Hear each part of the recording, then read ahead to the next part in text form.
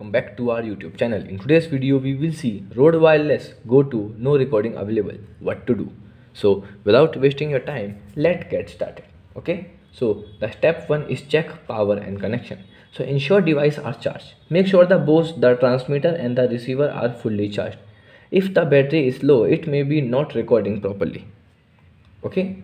So the and the reconnection the device so turn off the both the transmitter and receiver and then turn them back again and ensure they are paired connect correctly.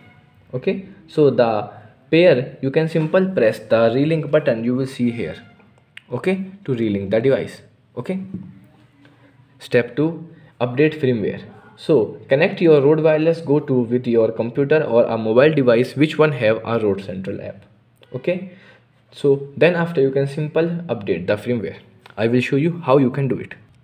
So when you connect your transmitter or receiver with the Rode Central app, you will see interference look this.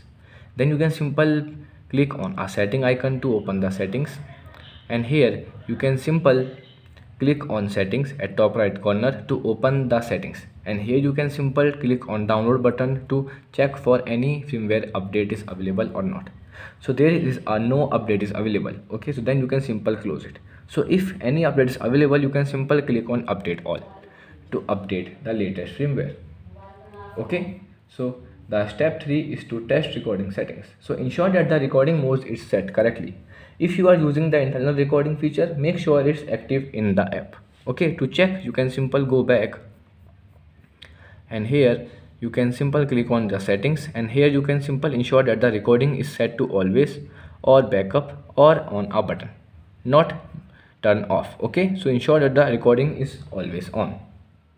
So the next step is to verify the input source. So if you are using the external microphone ensure the properly connected to a compatible with the Rode Wireless Go 2 sometimes a fault cables can lead to recording sometimes okay so the next step is to ensure that the if that the space is available. So in many cases that the space will be completely filled. So in this case you will not record internal audio. Okay? So you can simple free up the space by simple click on delete icon to delete the space. Okay? Before it you can simple export all the audios.